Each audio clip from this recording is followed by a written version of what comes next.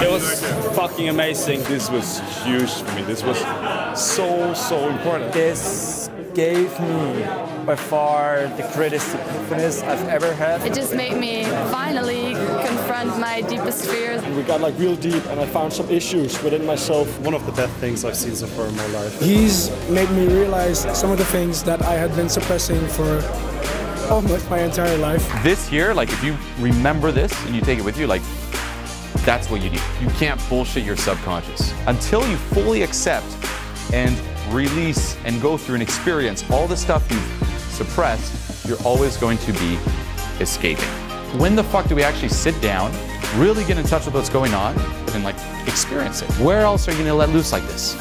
Where else? And where else are there gonna be other people who push you to let loose even more? Nowhere.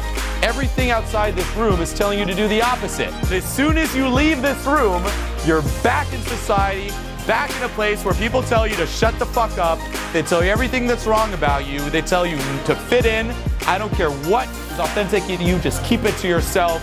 You don't deserve it. Don't be happier than everyone else. Fit in. Ah! Now talk. Bring it.